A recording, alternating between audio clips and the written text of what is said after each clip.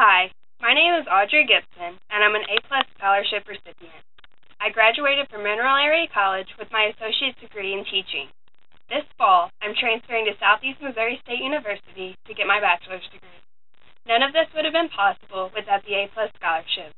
I took more than 70 credit hours at MAC, which would have cost me more than $6,300. The A-plus scholarship took away the stress of paying for college and allowed me to focus on my schoolwork. I'm very blessed part of every lotto ticket you buy goes to help schools, students, and scholars like me.